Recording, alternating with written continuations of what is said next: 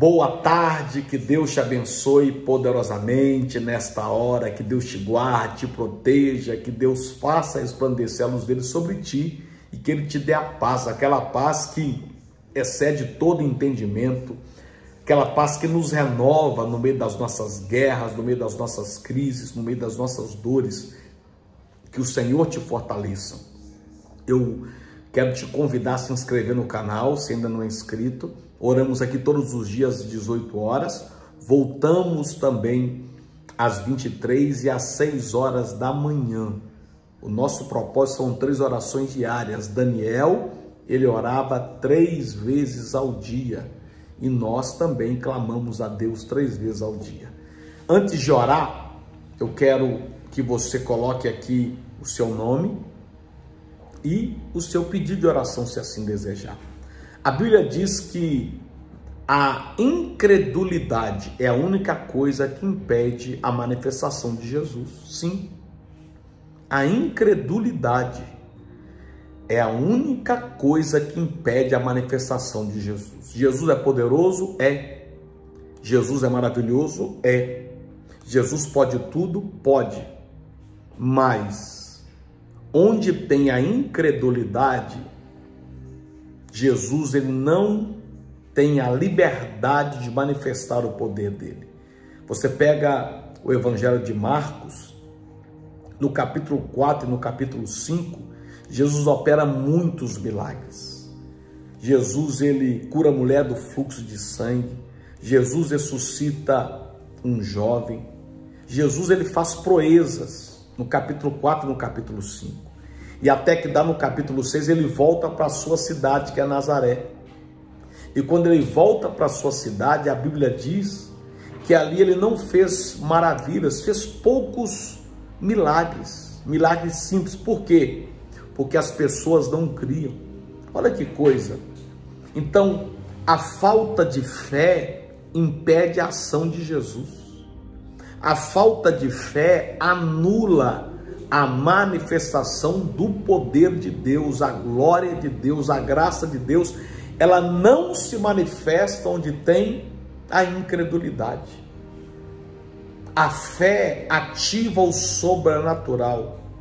A incredulidade fecha o sobrenatural. A incredulidade, ela impede Deus de agir.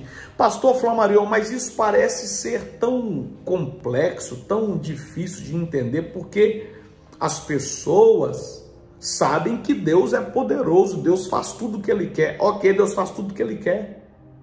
Mas Deus, Ele respeita o nosso livre-arbítrio. Onde não tem fé, Ele não pode se manifestar. Onde não tem fé, ele respeita. Tem pessoa que fala, não acredito em Deus. Então, se Deus quisesse colocar fé dentro daquela pessoa, Deus poderia colocar? Sim, poderia. Mas por que Deus não coloca? Porque Deus respeita o livre-arbítrio daquela pessoa. Então, meu amigo, por favor, rejeite a incredulidade e caminhe no nível da fé sobrenatural.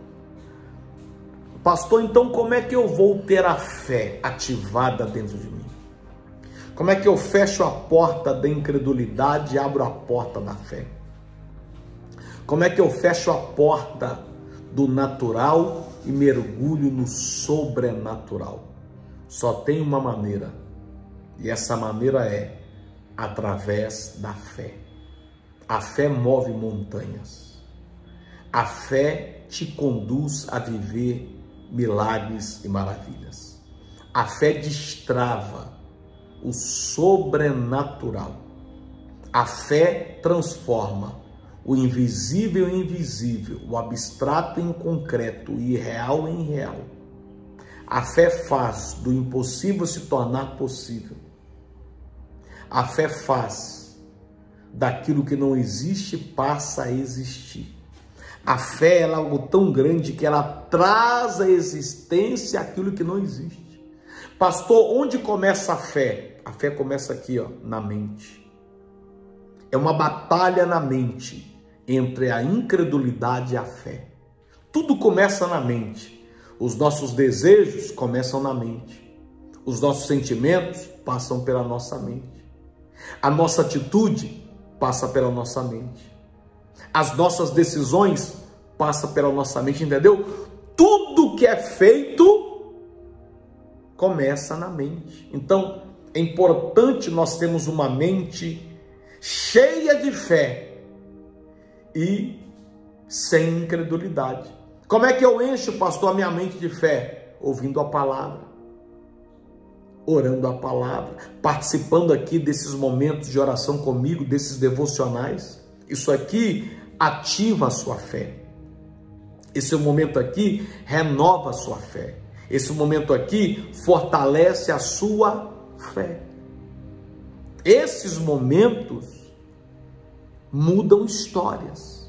Por isso, não fique atrofiado, não. Exerça a fé. Pratique a fé. O próprio Senhor disse: ora, sem fé é impossível agradar a Deus. Você sabia que a fé ela vem através da sua imaginação?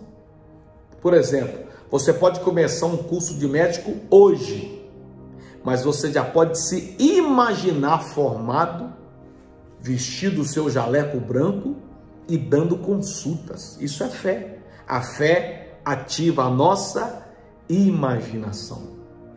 Eu vou orar por você agora. Receba a oração da fé. Pai, em nome de Jesus, eu entro em oração. Eu clamo ao Senhor. Eu peço ao Senhor. Manifesta o teu poder.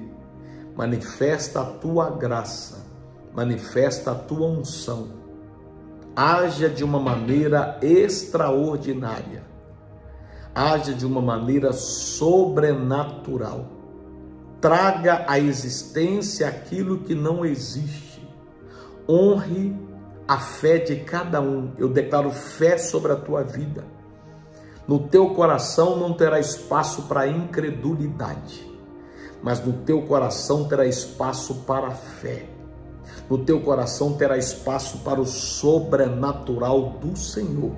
Eu abençoo a sua vida, abençoo a sua casa, abençoo a sua família em nome do Pai, do Filho e do Espírito Santo. Amém, Jesus. Amém?